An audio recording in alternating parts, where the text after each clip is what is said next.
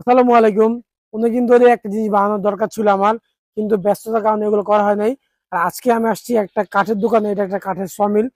এখান থেকে একটা জিনিস বানাইতে, সেটা হচ্ছে আমাদের মুরগি আর হাঁসের জন্য। খুব বানাইতে আসছি। বেসিক্যালি আমি ফার্স্ট চিন্তা করছিলাম যে আমি ঘর বানাবো, তারপর দেখলাম যে ঘরে থেকে ভালো খোপই হয়, কারণ কি যেই পরিমাণ শীত পড়তেছে অথবা সামনে পড়বে, এই জন্য খোপই বেটার ওদের জন্য।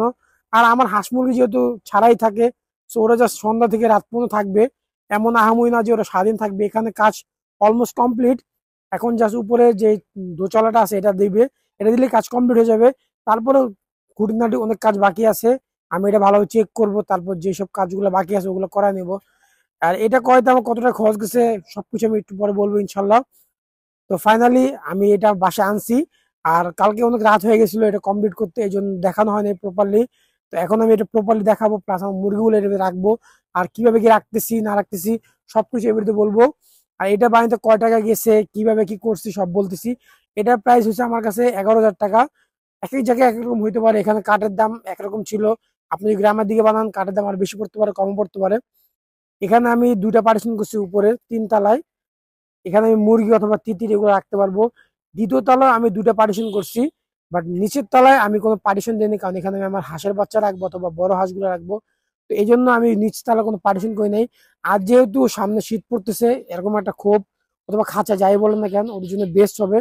তো এখন আমি তুষ আনতে পাঠিয়েছি তুষগুলো আসলে আমি এটা তুষ দেওয়ার পরে আমার মুরগি, আমার হাঁস সবগুলো সেট আপ করব। এই তুষের বস্তার দাম নিছে আমার থেকে দুশো বিশ টাকা। আমাদের সাভারের এদিকে, ঢাকার এদিকে এগুলো এই প্রাইসে বিক্রি হয়। আর এই তুষগুলো দেওয়ার কারণ হচ্ছে যাতে একটু ওরা ভালো গরম পায়, যেহেতু শীতের দিন আসতেছে। প্লাস যেহেতু এটা কাঠের, এটা আমি পানি দিয়ে পরিষ্কার করতে পারব না। তুষ দিলে ময়লাটা ইজিলি পরিষ্কার করা যায়। বলতে গেলে এটা হচ্ছে বিড়ালের ক্যাটলিটারের মতো। তুষগুলো আমি সবগুলোতে অলমোস্ট একটু একটু করে দিয়ে দিছি। এত বেশি পরিমাণ দেই নাই যেরকম ভাবে আমরা মুরগি খামারে অনেকগুলো করে দিই। ওরকম দেই নাই, অল্প একটু তুষ আমি চারদিকে ছড়াই দিছি। আর এগুলো আমাদের ছয়টা যে খোপ আছে, ছয়টা খোপই দিছি আমি। এখানে আমি দেখাই কীভাবে দিছি আমি। সেটা হচ্ছে একদম সামান্য করে যাতে ময়লাটা যাতে আটকে থাকে, ময়লা যাতে না বের হয় অথবা যাতে কাঠে নষ্ট না হয়। আমার এই হাঁস মুরগিগুলো এখন খাওয়া দাওয়া করতেছে। ওদের খাওয়া দাওয়া শেষে ওদেরকে আমি ঢুকাবো। কারণ যেহেতু ফার্স্ট টাইম ওরা এরকম খোপে থাকতেছে সো এরপরে থেকে ওদেরকে খোপে খাওয়া দাওয়া যাবে না। বাইরেই খাওয়া দাওয়া লাগবে। আমাদের রুমে যে মুরগিগুলো ছিল, ওগুলোকে আমরা বাইরে বের করছি। এখানে অলমোস্ট তিরিশটার মতো মুরগি আছে।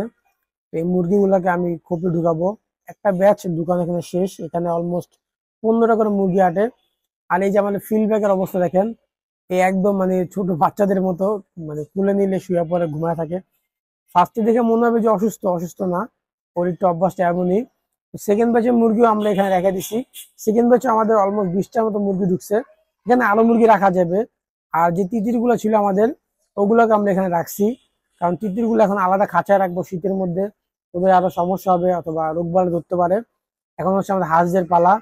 হাঁস এখানে আছে অনেকগুলোই, এগারোটার মতো, কিন্তু আমার মনে হচ্ছে এখানে আরও বিশটার মতো হাঁস রাখা যাবে।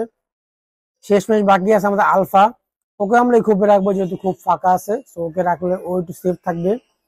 তো সবগুলোকে রাখার পরে এই হচ্ছে আমাদের ফার্মের নতুন অবস্থা। আমরা এই খোপটা কীভাবে বানাইলাম, না বানাইলাম, সব বললাম। এটা প্রাইস দিচ্ছে আবার আমি রিপ্লে করতেছি। এটা প্রাইস দিচ্ছে মাত্র এগারো হাজার টাকা।